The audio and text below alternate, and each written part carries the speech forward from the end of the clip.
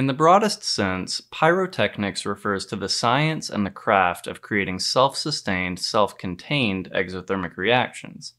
Pyrotechnic devices find widespread use in a variety of industrial applications including mining, quarrying, automotive airbags, safety matches, and general mining.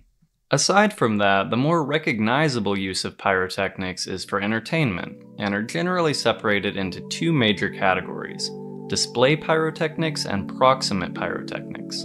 Display pyrotechnics are more commonly called fireworks, and are generally designed for outdoor use where the audience can be far away from the violent chemical reaction. Proximate pyrotechnics, on the other hand, tend to be smaller and more controlled, which allows them to be used much closer to audiences. These include the colorful flashes, smoke, flames, and bursts that tend to find use in things like concerts. Today I'm going to show you the general idea behind how pyrotechnics work at the simplest level, and maybe if there's enough interest, I could get a bit more creative with it in the future. On that note, the simplest pyrotechnics are called binary powders. These typically come in kits containing a fuel and an oxidizer that are stored separately and mixed just before use. Oxidizers are most typically nitrates or perchlorates, and their role is not only to provide oxygen to the reaction, but also color. The oxidizer I decided to use for this demo is called sodium bromate, which I'm going to use to make a variety of different colored flames starting with green and blue. To get started, I first added 4.16 grams of barium chloride and 4.2 grams of cesium chloride to two separate beakers. Barium salts burn with a bright green flame and cesium salts burn with a bright violet flame. The issue though is that chloride salts can't provide oxygen so I needed to make them into their bromate salts. To do this, I simply dissolved them in a minimum volume of distilled water along with a molar equivalent of sodium bromate, which is dissolved in a separate beaker. For my 4.16 grams of barium chloride, this corresponds to 6.04 grams of sodium bromate, and for my 4.2 grams of cesium chloride, I would need 3.8 grams of sodium bromate. Once all four salt samples were nice and dissolved, I next poured my cesium chloride solution into its corresponding bromate solution which immediately resulted in a dense precipitate of the barely soluble cesium bromate. I repeated this with the barium chloride to precipitate barium bromate. Now, producing these two bromate salts by precipitation is not simply done to obtain oxidizing agents capable of producing color. The action of precipitation itself here is critical. This is because when salts are formed by precipitation, they're formed as ultrafine particles. These ultrafine particles provide maximum surface area in the final pyrotechnic mixture, which produces a much faster and more spectacular reaction that really isn't possible otherwise. To collect my salts, I simply passed each one through vacuum filtration before thoroughly rinsing each one first with cold water to remove any residual sodium chloride and then cold isopropyl alcohol to speed up the drying process. I then scoop each of the two salts onto a couple watch glasses and allow them to sit overnight to dry completely.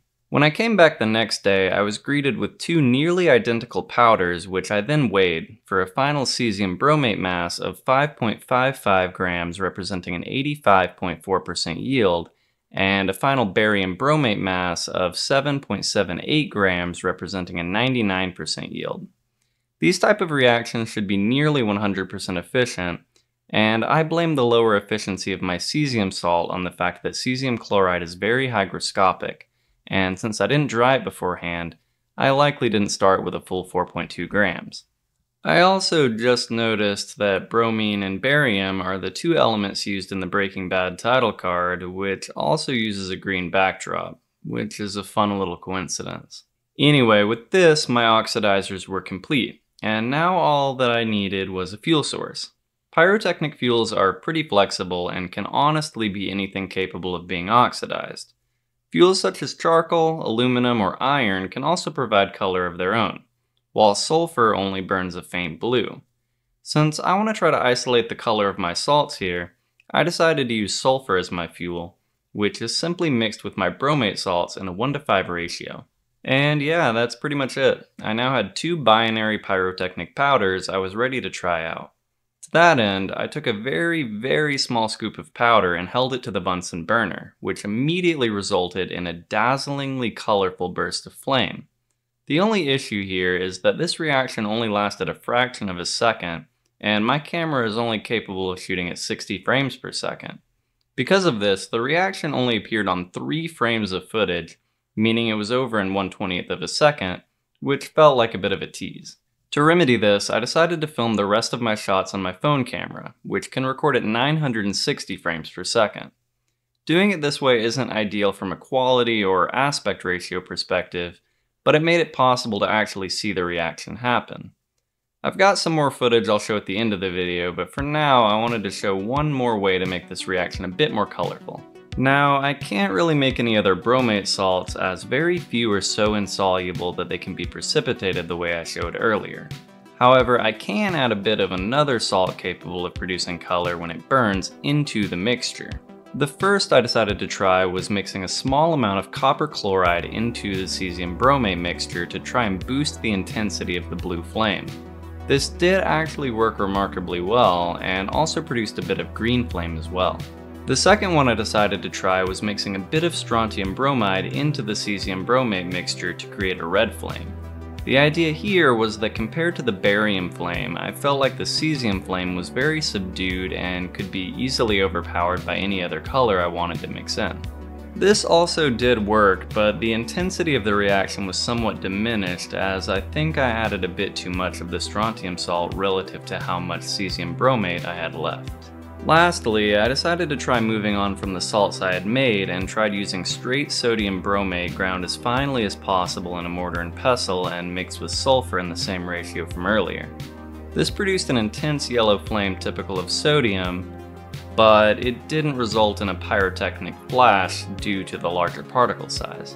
I also briefly tried potassium chlorate, which produced a lovely lilac color but lacked the intensity of the bromate salts, again because of the larger particle size. In any case, that's pretty much all I've got for today. It's somewhat tough to expand upon this topic of pyrotechnics without the video inevitably being taken down, but one thing I can try if there's any interest are some DIY sparklers. Anyway, I hope you found this interesting, and as always, I want to thank all my incredible patrons for their generous contributions. Your support is vital and very appreciated. To everyone else, if you'd like to see more content like this, consider subscribing on TikTok, YouTube, Instagram, or even by becoming a patron yourself. Thank you so much for watching, and I'll see you next time.